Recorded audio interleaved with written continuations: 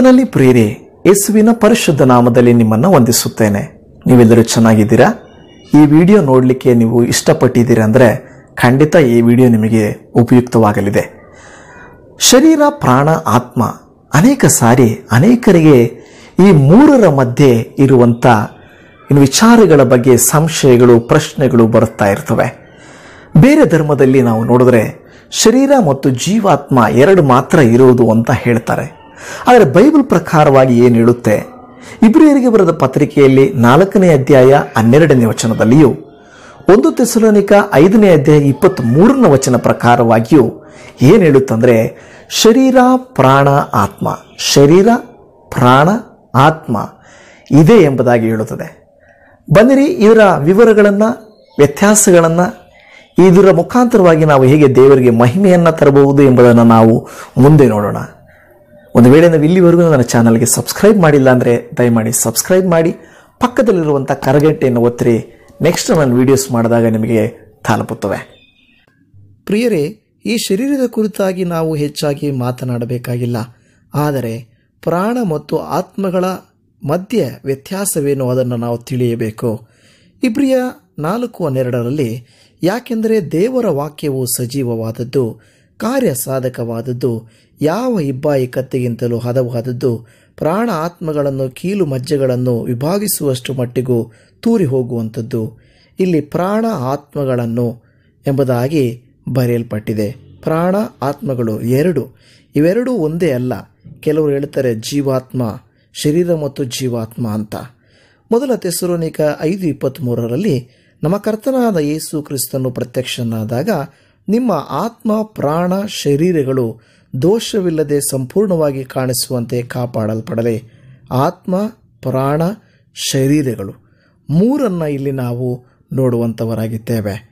ಹಾಗಾದರೆ ನಮ್ಮ ಶರೀರ, ಅದರೊಳಗೆ ಪ್ರಾಣ ಮತ್ತು ಅದರೊಳಗೆ ಆತ್ಮವನ್ನು ನಾವು ನೋಡುತ್ತೇವೆ.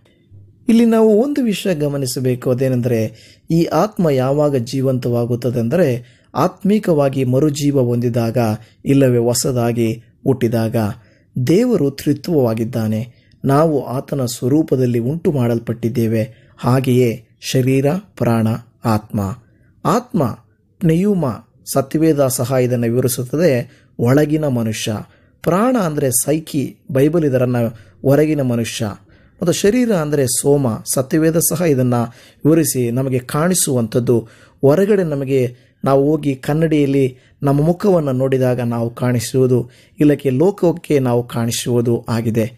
ಈ ನಮ್ಮ ಶರೀರ ವಾಸನೆಯನ್ನು ನೋಡುತ್ತದೆ, ರುಚಿ ನೋಡುತ್ತದೆ, ಕೇಳಿಸಿಕೊಳ್ಳುತ್ತದೆ, ನೋಡುತ್ತದೆ. ಅನೇಕ ವಿಧವಾದಂಥ ಕಾರ್ಯಗಳನ್ನು ಇದು ಮಾಡುವಂಥದ್ದಾಗಿದೆ. ಪ್ರಾಣ. ಈ ಪ್ರಾಣ ನಾವು ನೋಡುವಾಗ ನಾವು ಯಾರು? ನಮ್ಮ ವ್ಯಕ್ತಿತ್ವ ಏನು? ಗುಣಲಕ್ಷಣಗಳೇನು? ನಮ್ಮ ಭಾವನೆಗಳು, ನಮ್ಮ ಬುದ್ಧಿಶಕ್ತಿ, ನಮ್ಮ ಸಂಕಲ್ಪ, ನಮ್ಮ ಆತ್ಮಸಾಕ್ಷಿ, ಅದರಂತೆ ದುಷ್ಟನ ಕಾರ್ಯಗಳು ಸಹ ನಡೆಯುವಂಥದ್ದು ಈ ಪ್ರಾಣದಲ್ಲಿ ಆಗಿದೆ. ಒಡೆದಾಗ, ಚುಚ್ಚಿದಾಗ ನೋವಾಗುತ್ತದೆ, ಅದು ಶರೀರಕ್ಕೆ. ಬೈದಾಗ, ಬೇಸರವಾದಾಗ ನಾವುಗೆ ನೋವಾಗುತ್ತದೆ, ಅದೇ ಪ್ರಾಣ. ಇವೆರಡನ್ನು ನಾವು ಹುಟ್ಟಿದಾಗಿನಿಂದ ಸಾಯುವವರೆಗೂ ಅನುಭವಿಸುತ್ತೇವೆ. ಶರೀರ ಪ್ರಾಣಗಳನ್ನು ಯಾವಾಗಲೂ ಅನುಭವಿಸುತ್ತೇವೆ. ಆದರೆ ಇನ್ನೊಂದನ್ನು ನಾವು ಮರೆತಿದ್ದೇವೆ, ಅದೇ ಆತ್ಮ. ಹುಟ್ಟುವಾಗ ಆತ್ಮಿಕವಾಗಿ ನಾವು ಸತ್ತಿರುತ್ತೇವೆ. ಉದಾಹರಣೆಗೆ ದೇವರ ವಾಕ್ಯಗಳನ್ನು ನಾವು ಗಮನಿಸೋಣ. ಮೊದಲ ಕುರಿತ ಎರಡನೇ ಅಧ್ಯಾಯ ಹದಿನಾಲ್ಕನೇ ವಚನದಲ್ಲಿ ನಾವು ನೋಡುವಾಗ, ಪ್ರಾಕೃತ ಮನುಷ್ಯನು ದೇವರಾತ್ಮನ ವಿಷಯಗಳನ್ನು ಬೇಡವೆನ್ನುತ್ತಾನೆ. ಅವು ಅವನಿಗೆ ಹುಚ್ಚು ಮಾತಾಗಿ ತೋರುತ್ತವೆ. ಅವು ಆತ್ಮ ವಿಚಾರದಿಂದ ತಿಳಿಯತಕ್ಕವುಗಳಾಗಿರಲಾಗಿ ಅವನು ಅವುಗಳನ್ನು ಗ್ರಹಿಸಲಾರನು. ಎರಡನೆಯದಾಗಿ ಸಮಾಧಾನ. ನಾವು ರೋಮಪುರದವರಿಗೆ ಬರೆದ ಪತ್ರಿಕೆ ಎಂಟನೇ ಅಧ್ಯಾಯ ಆರನೇ ವಚನ ನೋಡುವಾಗ ಶರೀರ ಭಾವದವುಗಳ ಮೇಲೆ ಮನಸ್ಸಿಡುವುದು ಮರಣ, ಪವಿತ್ರಾತ್ಮನವುಗಳ ಮೇಲೆ ಮನಸ್ಸಿಡುವುದು ಜೀವವೂ ಮನಃಶಾಂತಿಯೂ ಆಗಿದೆ. ಮೂರನೆಯದು ಪ್ರಕಟಣೆ.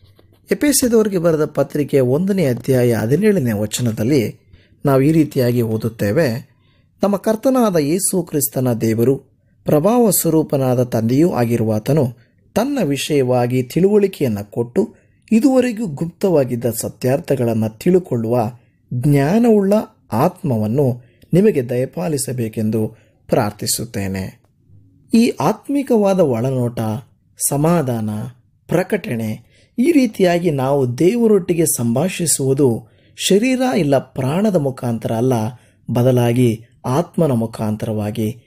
ಈಗ ಆಳವಾದ ಅರ್ಥ ಆಗುವಂಥದ್ದು ಯಾವುದು ಸರಿ, ಯಾವುದು ತಪ್ಪು ಅನ್ನುವಂಥದ್ದು ಆತ್ಮಿಕವಾದ ಸಮಾಧಾನ, ದೇವರೊಟ್ಟಿಗಿನ ಅನ್ಯೂನ್ಯತೆ, ಆಳವಾದ ಸಂಬಂಧ, ಇದೆಲ್ಲವೂ ನಮ್ಮನ್ನು ದೇವರೊಟ್ಟಿಗೆ ನಡೆಸುತ್ತದೆ.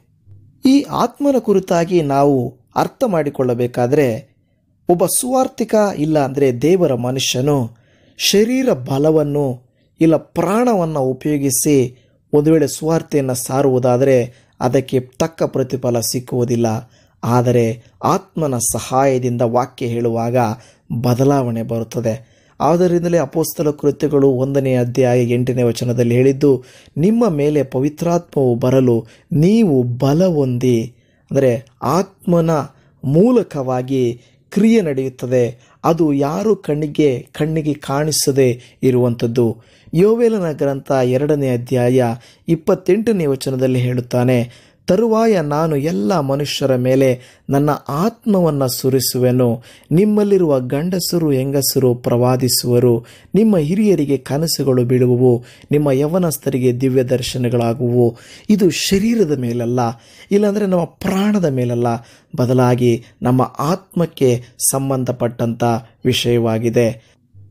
ಆದುದರಿಂದಲೇ ಲೋಕದ ಜನರಿಗೆ ಕ್ರೈಸ್ತರೆಂದರೆ ಅರ್ಥ ಆಗುವುದಿಲ್ಲ. ಅವರ ಆತ್ಮಿಕವಾದ ಕಾರ್ಯಗಳು ಅರ್ಥವಾಗುವುದೇ ಇಲ್ಲ. ಇದೆಲ್ಲ ಯಾವಾಗ ನಡೆಯುತ್ತೆ ಗೊತ್ತಾ? ನಾವು ಹೊಸದಾಗಿ ಹುಟ್ಟಿದ್ದೇವೆ ಎಂಬುದಾಗಿ ಹೇಳುವಾಗ ನಮ್ಮ ದೇಹವು ದೇವರ ಆಲಯವಾಗಿದೆ. ಮೊದಲ ಕುರಿತದವರಿಗೆ ಬರೆದ ಪತ್ರಿಕೆಯಲ್ಲಿ ಆರನೇ ಅಧ್ಯಾಯ ನಾವು ಹತ್ತೊಂಬತ್ತನೇ ವಚನವನ್ನು ನೋಡುವಾಗ, ದೇವರಿಂದ ದೊರಕಿ ನಿಮ್ಮೊಳಗೆ ನೆಲೆಗೊಂಡಿರುವ ಪವಿತ್ರಾತ್ಮನಿಗೆ ನಿಮ್ಮ ದೇಹವು ಗರ್ಭಗುಡಿಯಾಗಿದೆ ಎಂಬುದು ನಿಮಗೆ ತಿಳಿಯದು. ಈಗ ನಿಮಗೆ ಶರೀರ, ಪ್ರಾಣ, ಆತ್ಮಕ್ಕೆ ವ್ಯತ್ಯಾಸ ತಿಳಿಯಿತಲ್ಲವೇ? ಈಗ ಹೇಗೆ ನಾವು ನಡೆದುಕೊಳ್ಳುವುದು? ನಿಮ್ಮ ಆತ್ಮ ನಿಮ್ಮ ದೇವರೊಂದಿಗೆ ಮಾತಾಡುತ್ತದೆ. ಅದು ಆರಾಧನೆಯಿಂದ, ಪ್ರಾರ್ಥನೆಯಿಂದ. ಈಗ ಈ ಆತ್ಮ ದೇವರ ಚಿತ್ತಕ್ಕೆ ಅನುಗುಣವಾಗಿ ನಡೆಯುವಂತೆ ಪ್ರಾಣ ಶರೀರಗಳನ್ನು ಮುನ್ನಡೆಸಬೇಕು.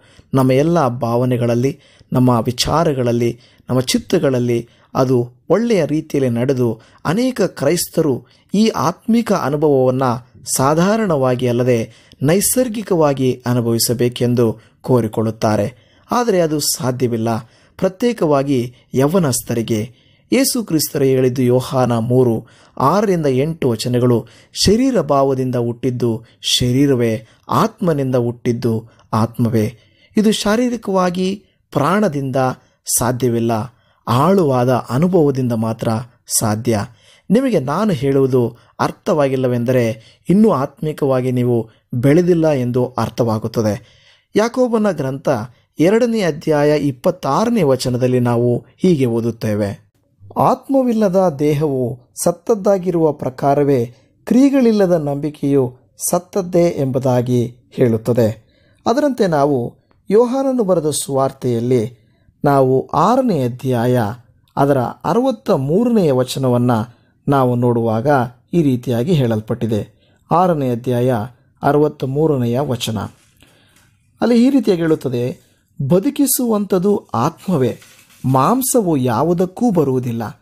ನಾನು ನಿಮಗೆ ಹೇಳಿರುವ ಮಾತುಗಳೇ ಆತ್ಮೀಯವಾಗಿಯೂ, ಅದರ ಆತ್ಮವಾಗಿಯೂ ಜೀವವಾಗಿಯೂ ಅವೆ ಎಂಬುದಾಗಿ. ಅಂದರೆ ಬದುಕಿಸುವಂಥದ್ದು ಆತ್ಮವೇ ಹೊರತು ಮಾಂಸವಲ್ಲ. ಆತ್ಮವಾಗಿಯೂ ಜೀವವಾಗಿಯೂ ನಾನು ಹೇಳಿರುವ ಮಾತುಗಳೇ ಎಂಬುದಾಗಿ ಅಲ್ಲಿ ನಾವು ನೋಡುತ್ತೇವೆ. ಈ ಆತ್ಮನನ್ನು ಅರ್ಥ ಮಾಡಿಕೊಳ್ಳಬೇಕಾದರೆ ಶರೀರದಿಂದ ಸಾಧ್ಯ ಇಲ್ಲ. ಪ್ರಾಣದ ಹಂತದಲ್ಲಿಯೂ ಸಾಧ್ಯವಿಲ್ಲ. ಆಳವಾದ ಅಂತರಾತ್ಮನಿಂದ ಸಾಧ್ಯ. ಯಾಕೆಂದರೆ ನಮ್ಮ ಪರಿಪೂರ್ಣವಲ್ಲದ ಕೆಟ್ಟ ಆಲೋಚನೆಗಳು ಸುತ್ತಿಬಿಟ್ಟಿವೆ. ಹಾಗಾದರೆ ಹೇಗೆ ಮಾಡುವುದು? ದೇವರ ವಾಕ್ಯದಿಂದ ಅರ್ಥ ಮಾಡಿಕೊಳ್ಳುವುದರ ಮೂಲಕ ಪ್ರತಿದಿನ ಹೇಗೆ ಕನ್ನಡಿಯಲ್ಲಿ ನಮ್ಮನ್ನು ನಾವು ನೋಡಿಕೊಳ್ಳುತ್ತೇವೋ ಹಾಗೆ ನಾವು ಚೆನ್ನಾಗಿ ಕಾಣಿಸುತ್ತೇವೆ. ನೀವು ಕನ್ನಡಿಯನ್ನು ನಂಬುತ್ತೀರಾ? ಅದು ನಿಜ ತೋರಿಸುತ್ತದೆ ಎಂದು. ಹೌದು, ಹಾಗೆಯೇ ಬೈಬಲ್ ಕನ್ನಡಿಯಾಗಿದೆ. ನಿಜವಾದ ನಮ್ಮ ಪ್ರಾಣ ಆತ್ಮಗಳನ್ನು ನೋಡಲು ದೇವರ ವಾಕ್ಯವು ಕನ್ನಡಿಯಾಗಿದೆ. ಯಾಕೋಬನ ಗ್ರಂಥ ಒಂದನೇ ಅಧ್ಯಾಯ ಇಪ್ಪತ್ತ ಮೂರರಿಂದ ಇಪ್ಪತ್ತೈದು ವಚನಗಳ ತನಕ ನೋಡಿದಾಗ ಯಾಕೋಬನ ಗ್ರಂಥದಲ್ಲಿ ಬಹಳ ಸ್ಪಷ್ಟವಾಗಿ ಇದರ ಕುರಿತಾಗಿ ಅಲ್ಲಿ ಬರೆಯಲ್ಪಟ್ಟಿದೆ. ಯಾವನಾದರೂ ವಾಕ್ಯವನ್ನು ಕೇಳುವವನಾದರೂ ಅದರ ಪ್ರಕಾರ ನಡೆಯದಿದ್ದರೆ ಅವನ ಕನ್ನಡಿಯಲ್ಲಿ ತನ್ನ ಹುಟ್ಟು ಮುಖವನ್ನು ನೋಡಿದ ಮನುಷ್ಯನಂತಿರುವನು. ಇವನು ತನ್ನನ್ನು ನೋಡಿಕೊಂಡು ಹೋಗಿ ತಾನು ಹೀಗಿದ್ದೇನೆಂಬುದನ್ನು ಆ ಕ್ಷಣವೇ ಮರೆತು ಬಿಡುವನು ಆದರೆ ಬಿಡುಗಡೆಯನ್ನುಂಟು ಮಾಡುವ ಸರ್ವೋತ್ತಮ ಧರ್ಮ ಪ್ರಮಾಣವನ್ನು ಲಕ್ಷ್ಯ ಕೊಟ್ಟು ನೋಡಿ ಇನ್ನು ನೋಡುತ್ತಲೇ ಇರುವವನು ವಾಕ್ಯವನ್ನು ಕೇಳಿ ಮರೆತು ಹೋಗುವವನಾಗಿರದೆ ಅದರ ಪ್ರಕಾರ ನಡೆಯುವವನಾಗಿದ್ದು ತನ್ನ ನಡತೆಯಿಂದ ಧನ್ಯನಾಗುವನು. ದೇವರ ವಾಕ್ಯ ನಮ್ಮನ್ನು ನಮ್ಮಲ್ಲಿರುವ ಕೀಡನ್ನು ತೋರಿಸುತ್ತದೆ. ಒಂದು ವೇಳೆ ನಾವು ಚೆನ್ನಾಗಿ ಕಾಣಿಸುತ್ತಿದ್ದೇವೆಂಬ ಭಾವನೆ ಇರಬಹುದು, ಆದರೆ ಆ ಭಾವನೆ ಸಾಲದು. ಹೋಗಿ ಕನ್ನಡಿಯಲ್ಲಿ ಖಚಿತಪಡಿಸಿಕೊಳ್ಳಬೇಕು. ಕೆಲವು ಸಾರಿ ಕನ್ನಡಿ ತೋರಿಸಿದ್ದನ್ನು ಸರಿಪಡಿಸಿಕೊಳ್ಳುತ್ತೇವೆ ಮತ್ತು ಕನ್ನಡಿ ತೋರಿಸಿದ್ದನ್ನು ನಂಬುತ್ತೇವೆ. ನಮ್ಮ ಆಲೋಚನೆಗಿಂತ, ನಮ್ಮ ಫೀಲಿಂಗ್ಸ್ಗಿಂತ ಹೆಚ್ಚಾಗಿ ನಾವು ದೇವರ ವಾಕ್ಯವನ್ನು ನಂಬಬೇಕು. ನಾವು ಹೇಗೆ ಕನ್ನಡಿಯನ್ನು ನಂಬುತ್ತೇವೋ ಆ ರೀತಿಯಾಗಿ. ಹಾಗೆ ದೇವರ ವಾಕ್ಯ ಎಂಬ ಕನ್ನಡಿಯನ್ನು ನಾವು ನಂಬಬೇಕು. ದೇವರ ಬಗ್ಗೆ ಸತ್ಯ, ದೇವರ ಬಗ್ಗೆ ನಮಗಿರುವಂಥ ಜೀವಿತದ ಉದ್ದೇಶದ ಬಗ್ಗೆ ನಾವು ಚೆನ್ನಾಗಿ ತಿಳಿದುಕೊಳ್ಳಬೇಕಾಗಿದೆ.